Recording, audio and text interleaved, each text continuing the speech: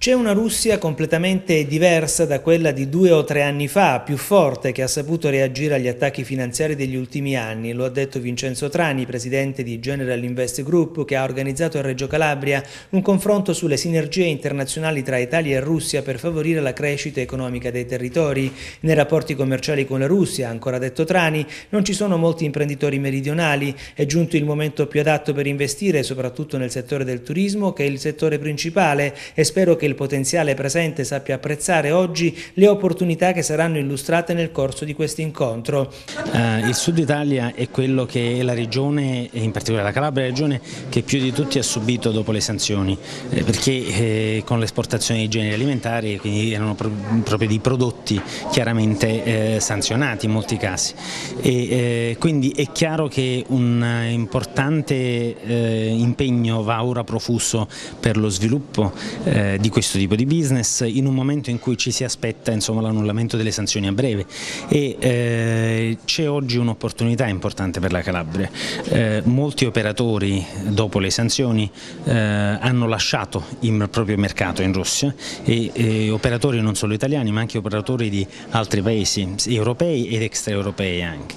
Per cui c'è ora un vuoto che va riempito. Questo vuoto è un vuoto eh, importantissimo per una regione che è in attesa di svilupparsi in questa direzione produzione ed è un vuoto non limitato solamente al settore agroalimentare ma eh, importante anche nel settore turistico. Sergei Razov, ambasciatore straordinario e plenipotenziario della Federazione Russa in Italia e nella Repubblica di San Marino, ha detto di riporre grande fiducia sul futuro, nonostante, ha spiegato, le vicende economiche che hanno determinato una riduzione molto drastica degli scambi commerciali, crollati dai 54 miliardi di dollari del 2013 ai 32 miliardi del 2015, quindi ha indicato nell'agricoltura e nel turismo due settori su cui puntare.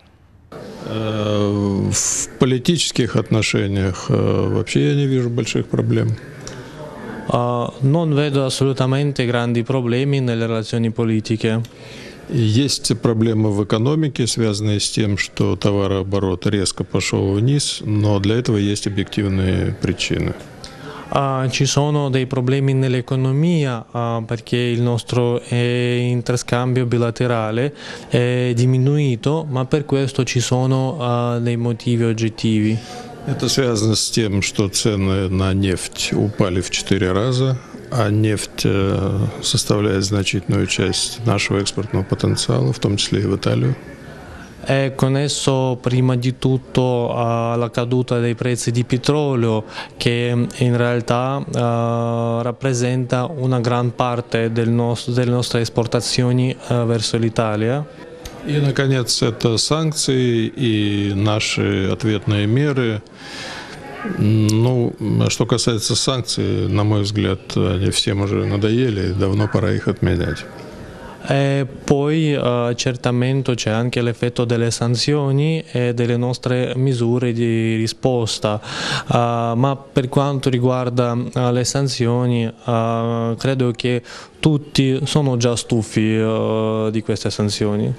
Что касается юга Италии, я говорю не только о Калабрии, то это сельскохозяйственная продукция, это туризм, И вот э, о перспективах развития сотрудничества в этих областях стоит поговорить.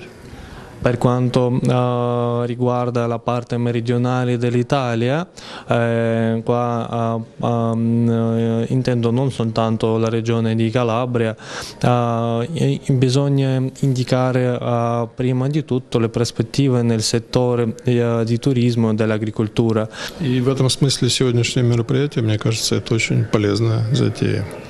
E in questo senso vedo l'evento di oggi uh, molto molto utile, uh, molto importante.